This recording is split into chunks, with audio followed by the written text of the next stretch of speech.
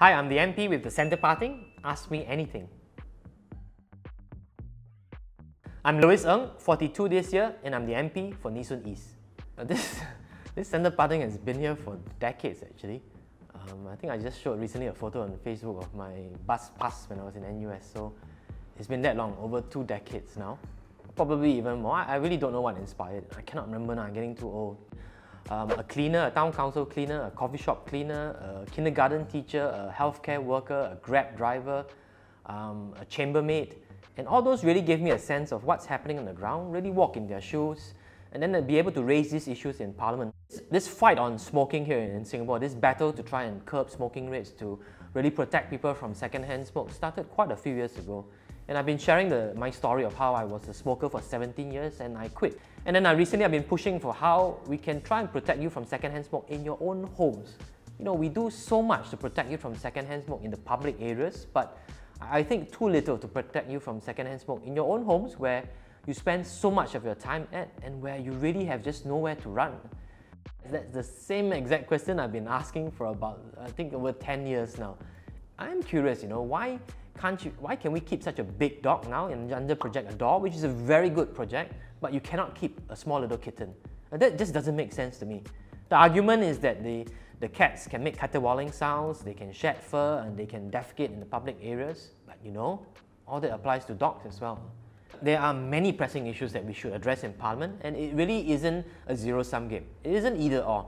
And that's why as uh, in the last sitting, for example, as I raised the issue of second-hand smoke, I also raised the issue of Parti Liyani about how we can help our foreign domestic workers. I also raised about how we can help uh, children who are differently abled. I also raised issues um, on uh, arbitration in Singapore, on the housing and development rules, about helping doctors. So there is a wide variety of issues that we can speak up about and not just one. If there's one animal that resembles me the most, it will be a housefly. And I've always said that the um, the housefly is very persistent. Um, it lands, it wants to eat, you swipe. It flies away, it flies back again. It's non-stop until it gets what it wants, then it flies away. I guess I'm, fortunate that when I was very young, I realized that helping animals was something that I, I really wanted to do. I wanted to grow up and be an animal activist. And the, when the opportunity came up for me to volunteer at the zoo, I, I, took that up. And then an opening came up at the chimp section where you could go and volunteer be, to be a chimp keeper.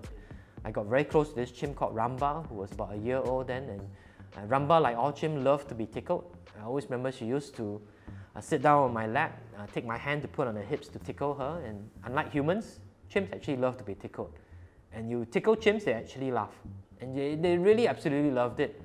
Ramba was also used for chimp photography session, and I was actually the photographer. And whenever she misbehaved, the keepers used to grab her by the head and, and punch her in the face. And at one point, she was punched, she ran to me, she hugged me, and she did this to check whether her lips were bleeding. And that really changed my life and that shaped the person that I am today. Um, I spoke up to urge the zoo to stop this practice of chimp photography. They, they fired me, took my badge, told me to leave, and quite infamously, they told me, Louis, you're just a small boy, you will never win. I believe I was 21 years old then. And I was a small boy, but I, I took up the cause to fight for Ramba, Poco, and Gombe, the three chimps that were used for chimp photography. I approached the Straits Times. Somehow they believed in my story, they published it. I approached international groups to help me in the campaign, and about two to three years later, we succeeded. And the zoo invited me back to witness the release of Ramba. Released because Ramba was taken away from her mother when she was about a year old. So for almost three years, never saw her mother, never touched her, maybe could hear her, could smell her. But I, I think to our amazement with the media there as well, when they opened the gates, uh, Ramba ran straight to Susie, her mother, and they hugged.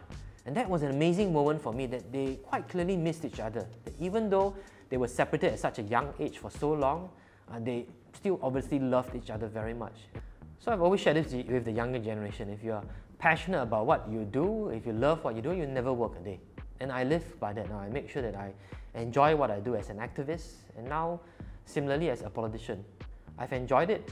I've made the, the journey a, a very positive one rather than filling it with negativity. I believe that we should be optimistic that change can happen and it will happen within our lifetime if we are passionate enough, if we persevere and are determined enough, and if we are stubborn enough.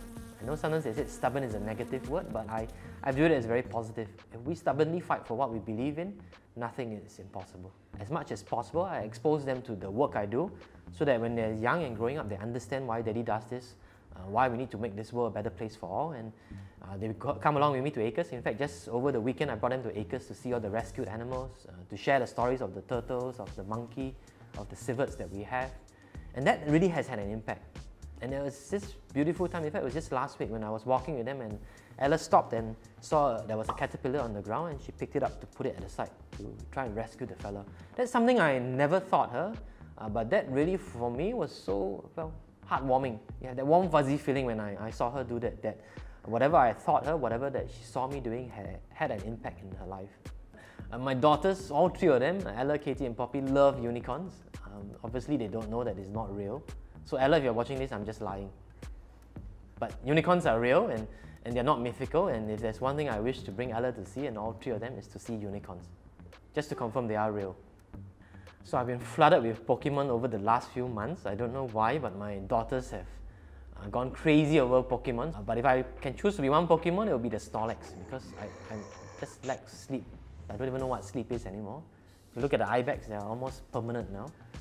I think that the most important thing that I'm trying to do here in Soon East is to make sure that this is not just a place that people live in, but a place where people can have fun at, where they can create beautiful memories, and a place that we can all call our home with a heart.